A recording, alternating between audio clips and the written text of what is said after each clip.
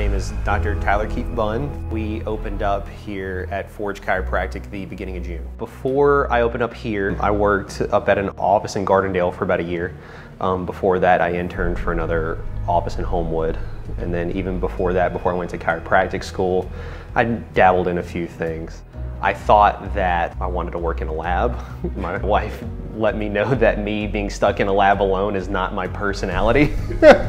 or just being stuck in a room just doing lab work is not is not me. I need to be out and helping folks. So um, Christina always said that when I talked about being a chiropractor, that I would just light up, just get that fire in my eyes whenever I talked about it.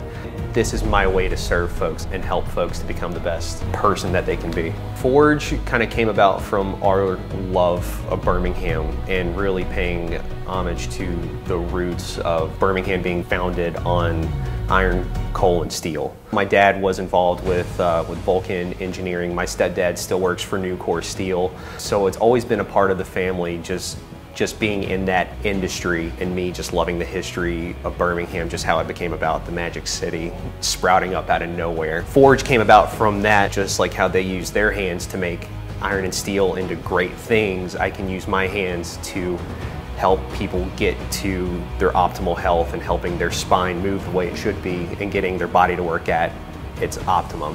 What I do as a doctor of chiropractic is I specialize in neurologically based chiropractic care. Everything I do, we're basing it on what I find. I've got neurological checks that I can do to see what's going on in, the spine. I use my hands to adjust the spine with the chiropractic adjustment, and then I also specialize in a technique called torque release technique. It kind of it kind of looks like a dental impactor, so it's just got a soft rubber tip. I use it for certain things. There's some docs that will just use this in their assessment, but I do a mix of using my hands, full spine adjusting, and this. I just want to help as many folks as I can. We have so many folks that are out there just hurting and taking so many pain medications that their body can't handle that. So when, when I adjust and I approach care, I don't want folks to get adjusted just based on pain. It's, it, it's about your health as a whole, preventative health care instead of symptom-based health care, which is what folks are generally used to. I hurt, I take a pill, I feel better, which that's just a band-aid in the long run. So so my goal is to get as many spines through that door as possible to help them achieve their health goals. For one reported thing in studies that folks will ask, what's the first thing that you felt after you get adjusted? It's a better night's sleep. It's about just functioning as a human the way that we were meant to be.